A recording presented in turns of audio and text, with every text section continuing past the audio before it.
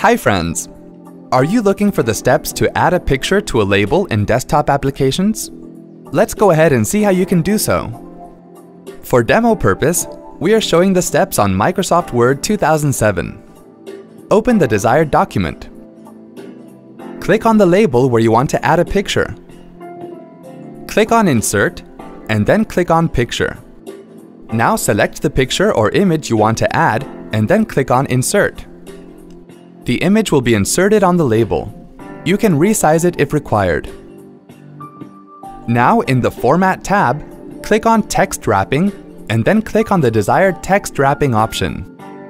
To copy the same in other labels, just select the text and copy it. Now go to another label, select the text and then paste it there. Follow the same process to copy it in other labels. You don't need to do it one by one. Just select all the text in the row and copy it. Now select other labels, right-click on it, and select Paste Cells. The picture will now be added in other labels also. See?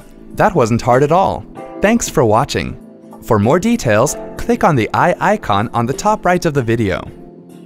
Check out our iYogi channel for self-help videos on Windows, Mac, smartphones, security, social media, and much more.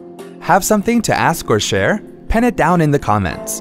To get iYogi tech support, dial toll-free numbers. To stay empowered technically, subscribe to our channel.